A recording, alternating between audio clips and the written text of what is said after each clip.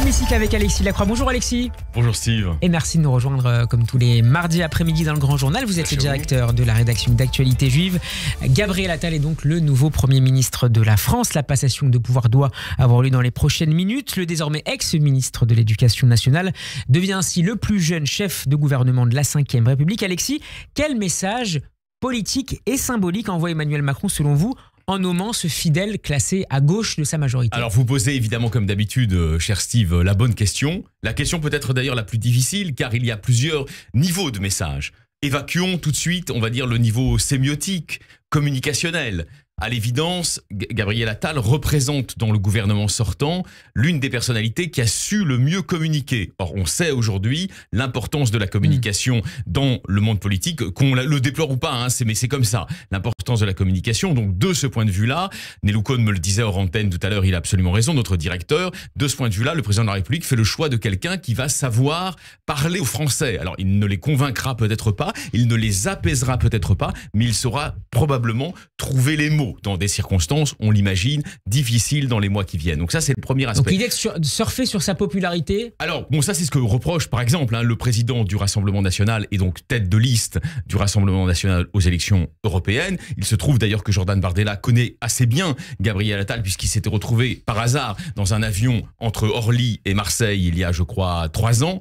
Et ils étaient des jeunes pousses de, de la politique, mais déjà prometteurs l'un et l'autre. Ils avaient longuement parlé, non sans une certaine amicalité je ne dirais pas amitié, vous voyez, mais dans le sens d'une certaine amicalité. C'est aussi une réponse d'ailleurs à, la dynamique Bardella, à l'extrême droite? Alors, ça c'est ce que disent un certain nombre de macronologues. Moi, je, vais vous dire, je suis pas assez macronologue pour entrer dans la tête de Macron sur les arrière-pensées. Ce qui me semble plus intéressant, puisque vous me lanciez là-dessus, c'est l'affirmation d'un cap idéologique. Il se trouve que je connais quelques conseillers de l'Élysée. Or, effectivement, avant les vacances de, de la fin de l'année, le mot d'ordre, c'était une forme de néo-chevènementisme. Alors, si on connote le chevènementisme, c'est un mélange de républicanisme très affirmé, sur le mode on interdit la baïa à l'école, si vous voulez, mais aussi de position, au fond, capable jusqu'à un certain point de rassurer la gauche, vous voyez, de rassurer la gauche historique, je veux dire. Hein. Ces gens qui... Après la séquence euh, sur le projet de loi immigration. Voilà, ces gens qui, à tort ou à raison, après euh, la loi travail et l'âge de la retraite à 64 et euh, plus récemment la loi immigration se sentent à tort ou à raison, mais là nous sommes dans le domaine des perceptions, floués, trahis, euh, complètement cocufiés, a-t-on même écrit dans Challenge, par Emmanuel Macron. Donc effectivement, la nomination d'un homme, d'un jeune homme qui est politique de la Macronie, qui est plutôt classé au centre-gauche, disons dans la famille sociale-libérale, incarne, à mon avis, le désir, au-delà de la communication, qui est un aspect intéressant, mais qui n'est pas le seul aspect, le désir du président de la République d'essayer de voir s'il est possible, dans les trois ans de bail présidentiel qui lui reste, avec son Premier ministre, mais aussi avec l'équipe que celui-ci va désigner, en concertation, comme vous le savez, chaque fois avec l'Élysée, de renouer avec la promesse originaire du macronisme. tout, en trouvant, tout en trouvant, Alexis, avant que vous citiez euh, Révolution d'Emmanuel Macron, tout en trouvant des majorités à l'Assemblée nationale. Alors, évidemment, ça va être la difficulté. Là, vous pointez tout de suite euh, l'essentiel, là aussi, de la difficulté politique. Peut-être d'ailleurs, le président de la République reproche-t-il en partie à Elisabeth Borne de n'avoir pas su les trouver, d'avoir eu recours, euh, on va dire de manière récurrente au 49-3 avec son aval. Mais vous savez bien que dans ces circonstances, le prince exerce un double bind. Il dit oui, vas-y, puis après, il reproche d'y être allé. Donc, il souhaite probablement, effectivement, avoir un Premier ministre un peu fifs pour trouver les, les majorités, alors que la majorité n'existe pas. Mais je pense que l'essentiel va encore au-delà. L'essentiel est plus philosophique, si vous voulez, plus métapolitique.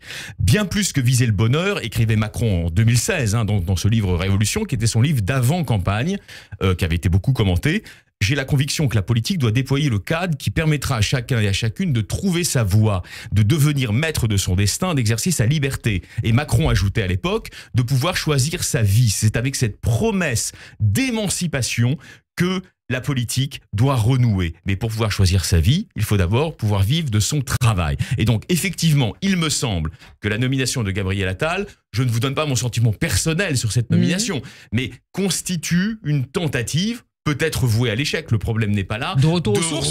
de retour aux sources du macronisme, qui effectivement était dans sa philosophie politique essentielle, hein, ce qu'on appelle un social-libéralisme, un social-libéralisme, hein, c'est-à-dire un équilibre au fond qui a été inventé souvent d'ailleurs par les troisièmes voies en Angleterre, mais aussi euh, en Allemagne, un équilibre entre les exigences du socialisme, c'est-à-dire une certaine forme de tendance vers l'égalité, et du libéralisme, c'est-à-dire une certaine forme de tendance vers la liberté. C'est ça, la matrice. Et ça serait donc, Alexis, si je vous suis bien, une forme de de rupture relative avec les deux premières années de son deuxième quinquennat? Non, ça serait une sorte de clarification, parce que je pense que le président de la République, tout ce qui nous revient, si vous voulez, de, de ses énervements, de ses agacements, qui sont au-delà des personnes, et relatifs aux sentiments, là aussi qu'à tort ou à raison, son image et l'image de son action avec son gouvernement, le gouvernement sortant, est brouillée. Vous voyez, le président a le sentiment qu'il n'est pas compris sur beaucoup de sujets.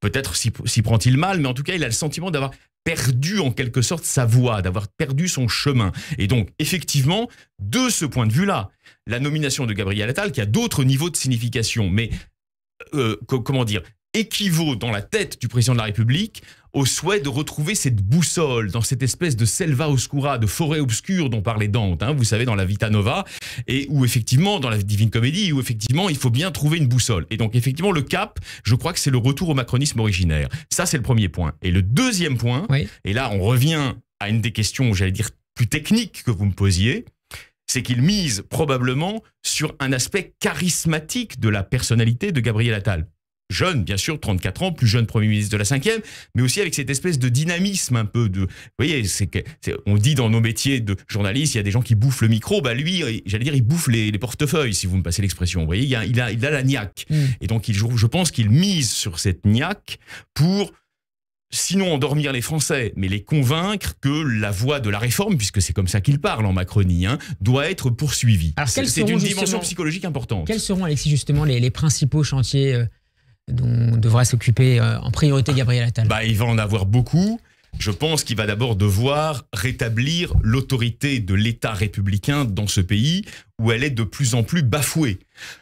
Il n'y a de ma part aucun jugement négatif sur la personne, vous vous en doutez, mais on peut quand même s'interroger, je veux dire du point de vue de nombreux compatriotes, sur les réalités de l'action effective du ministre de l'Intérieur sortant, Gérald Darmanin. Vous voyez, l'explosion des violences contre les biens et les personnes, le nombre d'attaques au couteau absolument phénoménal chaque année, hein, dans, les, dans les villes et dans les banlieues françaises, même dans les campagnes. Aujourd'hui, on le sait depuis l'affaire Thomas, tout ça effectivement génère un climat d'insécurité sur lequel je crois cet exécutif va être conscient qu'il s'agit d'une des priorités. Et puis la deuxième priorité, mais c'est lié en réalité, c'est de relancer cette dynamique de ce qu'on appelait jadis l'ascenseur social, mais ça va au-delà, c'est-à-dire donner le sentiment aux outsiders, ceux qui sont en dehors du marché du travail, et dont parlait justement Emmanuel euh, Macron, dans ce bréviaire révolution que nous citions, qu'ils peuvent un jour espérer entrer dans le marché du travail. Alors ça, c'est évidemment, c'est du keynésianisme, vous voyez. Ça veut dire que la dimension de gauche social-démocrate de la Macronie ne peut pas être abandonné. Et ça, je crois que le président de la République, au fil des critiques qu'il a subies, en a pris conscience. Par parenthèse, pour terminer, Alexis. par parenthèse, ça c'est un élément rigolo, si vous voulez. Cette nomination, dans l'immédiat tout au moins, va freiner la marge de progression de la liste potentielle de Raphaël Glucksmann aux européennes, puisque on nomme quand même quelqu'un qui est issu de la matrice social-démocrate. Hmm. Vous voyez Et donc, en termes d'image, ça rend d'une certaine manière le rééquilibrage par la social-démocratie moins indispensable qu'au moment où on avait le sentiment que le précédent gouvernement, malgré la présence de la très remarquable Elisabeth Borne, était quand même plutôt un gouvernement qui penchait du, côté du libéralisme conservateur. Merci beaucoup, Alexis Lacroix, d'avoir été avec nous. Je rappelle que vous êtes le directeur de la rédaction d'Actualité Juive et qu'on peut réécouter cette chronique en podcast sur radioj.fr et la retrouver en vidéo sur notamment sur notre page YouTube. Bon après-midi. Bon après-midi.